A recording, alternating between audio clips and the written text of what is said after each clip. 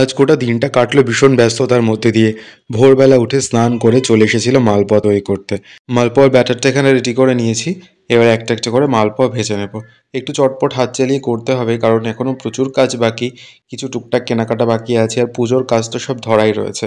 সেসব কিছুই করা হয়নি। ইভেন ঠাকুরও এখনও ঘরে মানে ঠাকুর ঘরে, যেখানে পুজো হবে সেখানে নিয়ে যায়নি।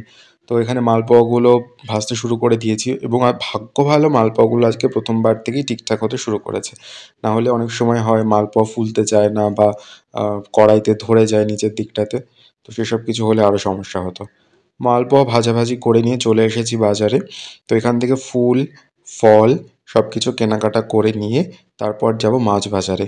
সরস্বতী পুজো মানেই তো ইলিশ মাছ, তো সেজন্য ইলিশ মাছ কিনতে এসেছি। তো মাছ টাছ কেনাকাটা করে চটপট বাড়ি ফিরতে হবে। আরেকটা বড় কাজ রয়েছে, সেটা হলো এই বেলপাতা জোগাড় করা। শীতে বেলপাতা যে এত দুর্গতি হয়, কি বলব? যাই হোক, ওসব কাজকর্ম সেরে এসে ঠাকুরের জায়গাটা রেডি করে ঠাকুরটাকে জায়গায় বসিয়ে দিয়েছি এবং তারপরেই চটপট করে একটুখানি আলপনা দিয়ে নেব। আমি খুব একটা ভালো পারি না, তো মোটামুটি কাজ চালানোর মতো যেটুকু পারলাম, চটপট করে দিয়ে ফেললাম। এটা শুকোতে থাকুক, এরপর বাকি কাজগুলো এক এক করে করতে হবে। তো এই হলো পুরো আলপনা সহ দেবীর একটা লুক আপনারা দেখুন আর সবাই অবশ্যই জানাবেন কেমন লাগল। তো দেখা হচ্ছে পরের ভ্লগে ততক্ষণ সবাই খুব ভালো থাকবেন। নমস্কার।